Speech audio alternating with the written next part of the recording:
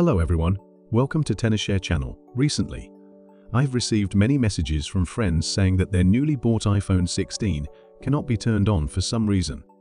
No matter whether they click the screen or long press the power button, there is no response.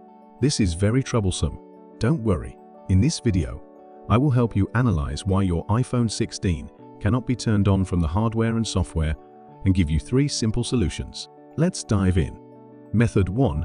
Contact Apple support. First, let's rule out the simplest hardware problem.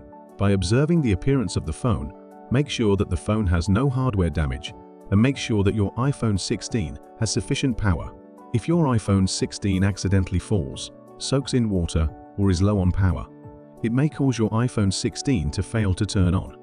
If it is confirmed that the above hardware problems are caused, we can go to Apple official website to find professional technicians for repairs.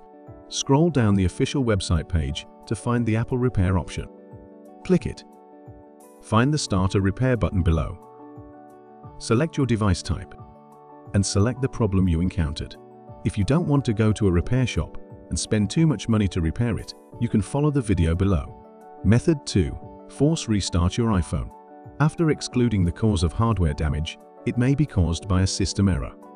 We can try to use force restart to solve the problem of iPhone 16 won't turn on. Here is how.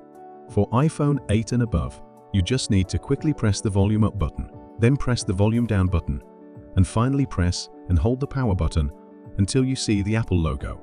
This method is very simple. Usually, force restart can solve many system bugs. Give it a try. Maybe this simple method can help you solve many small problems. Method 3. Use ReiBoot repair the system. If the first two methods are ineffective, it may be the cause of the system crash. You can use ReiBoot system repair function, which can repair more than 150 iOS system problems without losing data, helping you solve the problem of iPhone not turning on. It can help you save hundreds of dollars in repairs at the repair shop.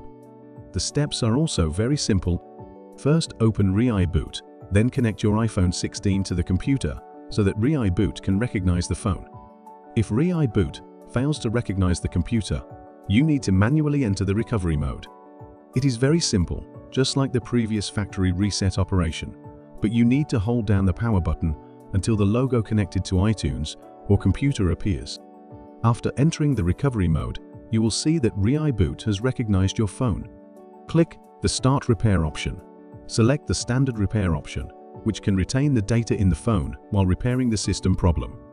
Download the required firmware according to the software prompts. The download process takes about 10-20 minutes. The download speed depends on your network speed. After waiting for the firmware to download, click Start Standard Repair.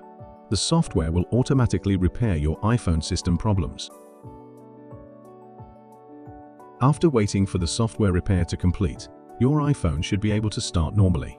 That's it. Whether it is a simple hard reset or a powerful tool like ReiBoot, these steps can help you fix your iPhone 16 that won't turn on. If this video is helpful to you, please like and subscribe to the Tenorshare channel. We will update more technical tips and tricks for iPhone. If you have any other questions, feel free to leave them in the comments section and we'll be happy to help.